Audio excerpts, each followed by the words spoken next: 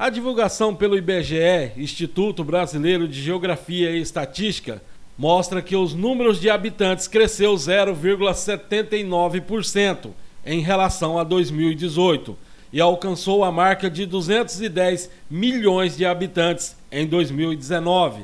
O estado de Rondônia saltou para 1.777,225 milhões, no último censo, era apenas 1.562,409 pessoas. Segundo levantamentos do censo que foi feito por cidades do estado de Rondônia, Rolim de Moura assumiu a sexta posição, com 55.058 mil habitantes, perdendo apenas para Porto Velho, Ji-Paraná, Vilhena, Ariquemes e Cacoal.